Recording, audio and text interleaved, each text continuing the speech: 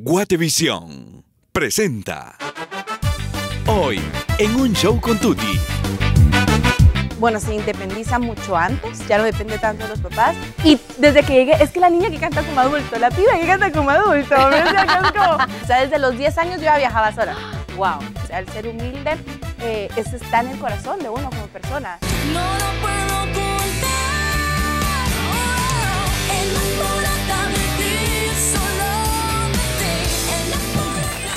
Con ustedes, Tuti Furlan.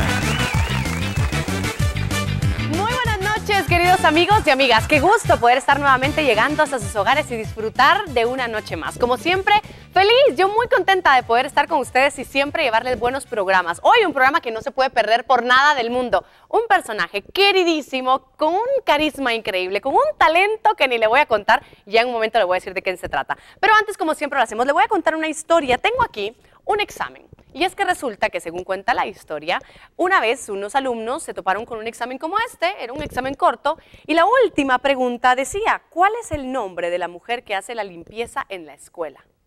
Muchos de los alumnos se quedaron sin saber qué responder, la dejaron en blanco, si es que no la mayoría, no sabían qué decir. Llegaron con el maestro incluso y le preguntaron, ¿de verdad tengo que responder esa última pregunta? ¿Es necesario? ¿Mi nota depende de eso? Y el maestro muy sabiamente les respondió, sí. ¿Y saben por qué? Porque en la carrera de nuestra vida, sea a nivel profesional o nuestra vida entera, siempre hay personas que son importantes y que a veces, por cualquier razón que nosotros tengamos en mente, no les damos la importancia que merecen. Todas las personas, no importando qué hagan, cómo se llaman, en qué creen, qué hacen o qué no hacen, son importantes en nuestra vida y en nuestro camino les tenemos que dar su lugar. Señoras y señores, hoy un show con Tuti a lo grande, con un super personaje para que no se lo pierda. Arrancamos.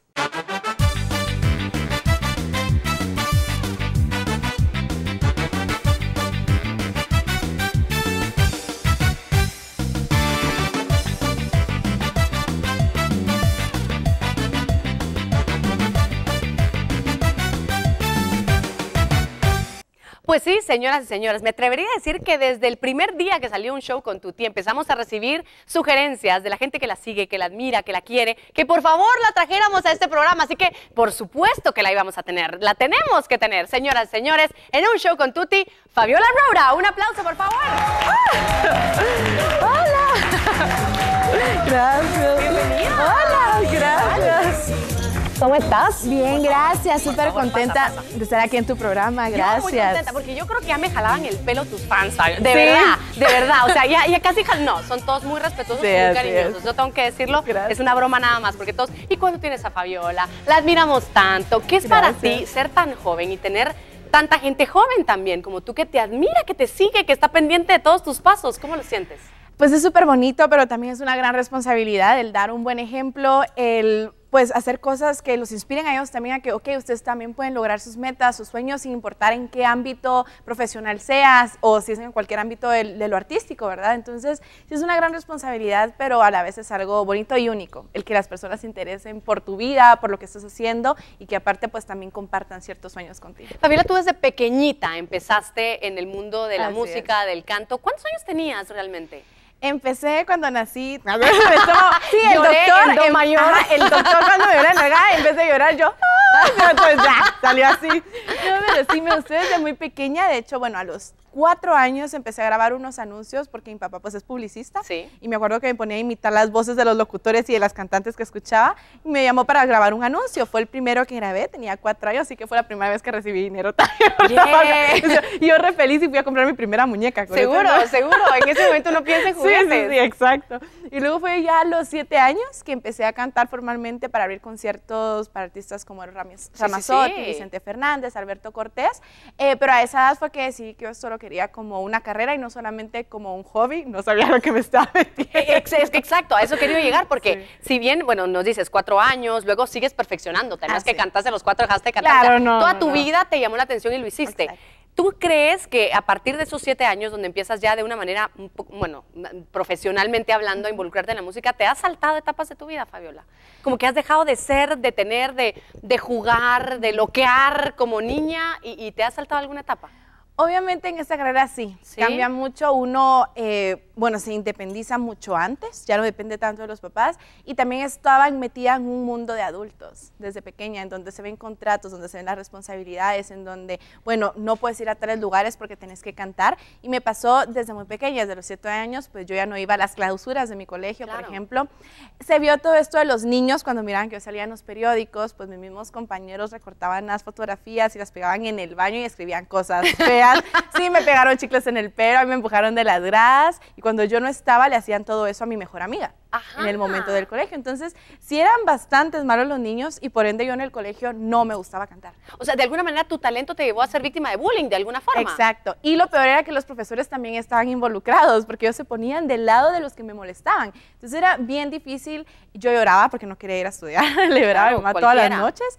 Eh, y luego se dio la oportunidad de irme dos años a Buenos Aires, Argentina, en el cual estuve viajando. Entonces ahí pues decidí, ya no le voy a poner importancia a mis compañeros del colegio ni nada. Y empecé a enfocarme en realidad en lo que yo quería, sin importar las críticas y nada. ¿verdad? Porque algo interesante, eh, si usted ha tenido la oportunidad o si algún día tiene la oportunidad de hablar así cara a cara con Fabiola, se da cuenta que no, lo, no quiero que me lo tomes a mal, pero que es, de corazón es como una niña, es muy inocente, es muy juguetona, es muy alegre, no es como alguien amargado, digamos que, Sí. que, que es súper formal y la gran artista, llena de cuentos. No, es de verdad, eso me encanta de ti, que estés donde estés, te la disfrutas, te relajas, te la pasas bien y eso es. creo que es un gran valor. Eh, y me llama la atención que has tenido que pasar también por todos esos momentos dolorosos, porque creo que a la fecha, no lo dudo, cualquier persona que está expuesta a muchas Así personas es. recibe críticas. Y el cambio tan grande cuando a partir de Fabiola Roura, cuando decides adaptar tu Fabiola Sí. Roura, muchas personas te empezaron a señalar y a criticar. Exacto, o sea, sí, sí, sí, ahí fue donde se desataron malas críticas y todo, pero creo que cuando uno en realidad,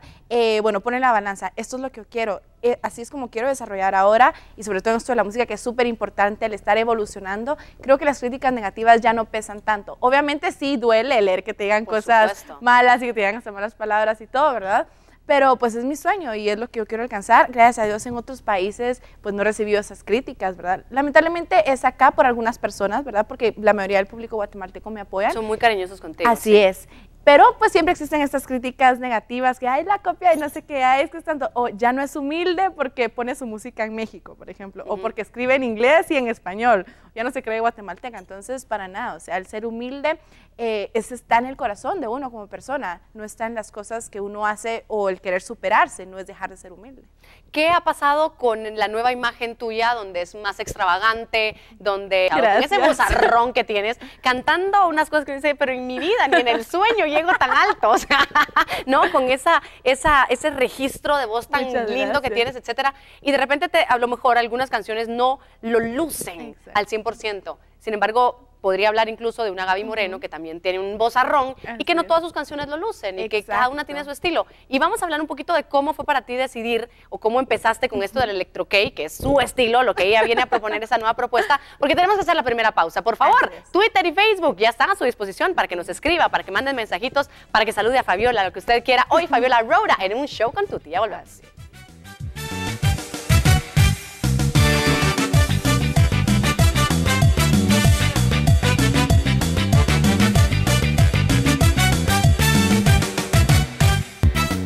Al volver, Y pues me están abriendo las puertas nuevamente en el DF para poner lo que es mi música ya original como Fabiola Road.